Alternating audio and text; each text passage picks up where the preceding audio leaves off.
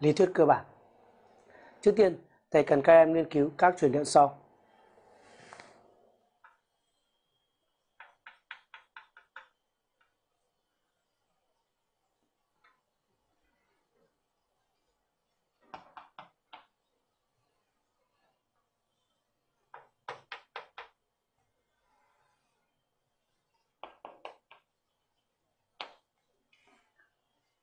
Trên bảng, thầy đã vẽ hai cơ hệ cho các em.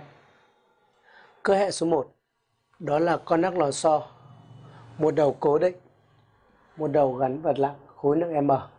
Con nắc lò xo này có độ cứng K. Cơ hệ số 2 đó là con nắc đơn có chiều dài L, một đầu cố định và một đầu gắn vật nặng khối lượng M. Chúng ta nhìn hai cơ hệ và thực hiện thí nghiệm như sau. Ta lần lượt đưa vật M ra khỏi vị trí ban đầu đứng yên của vật. Ví dụ, thầy đưa vật M ở cơ hệ số 1 xuống dưới vị trí ban đầu của vật. Thầy giả sử đến vị trí A. Sau đó, thầy thả tự do. Các em hãy hình dung xem hiện tượng thí nghiệm xảy ra như thế nào. Với cơ hệ số 2, thầy đưa vật M lệch khỏi phương thẳng đứng một góc alpha. Sau đó, thầy thả tự do.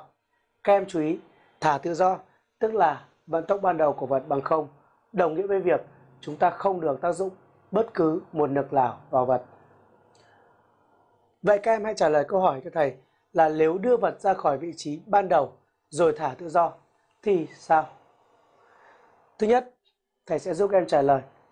Với cơ hệ số 1, khi thầy thả tự do vật M từ vị trí A, lúc đó vật M đi lên, đi xuống, đi lên, đi xuống.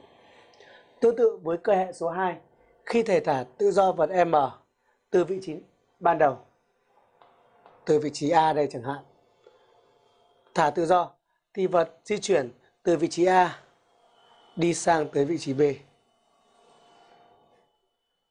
Đi sang tới vị trí B. Và đương nhiên các em nhớ vị trí B này cũng lệch khỏi vị trí cân bằng một góc alpha.